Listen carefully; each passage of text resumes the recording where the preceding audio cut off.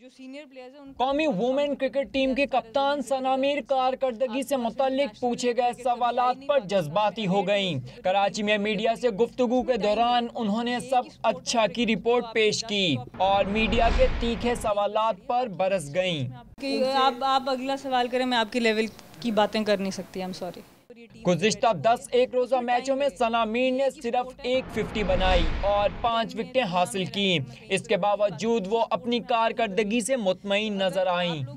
मसला ये जी आप लोग बड़ा कम होमवर्क करके एक बड़ा ज़्यादा क्रिटिसिज्म करते हैं ये।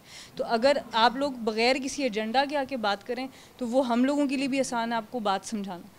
सना मीर की क्यादत में पाकिस्तान ने पचपन एक रोजा मैचेस खेले, जिनमें 30 में टीम को शिकस्त और 24 में कामयाबी मिली। वुमेन टीम की कायद ने मुस्तकबिल करीब में रिटायरमेंट लेने के इम्कान को रद्द कर दिया। कैमरामैन अली शाह के साथ जिशान अहमद, डॉन न्यूज़ कराची।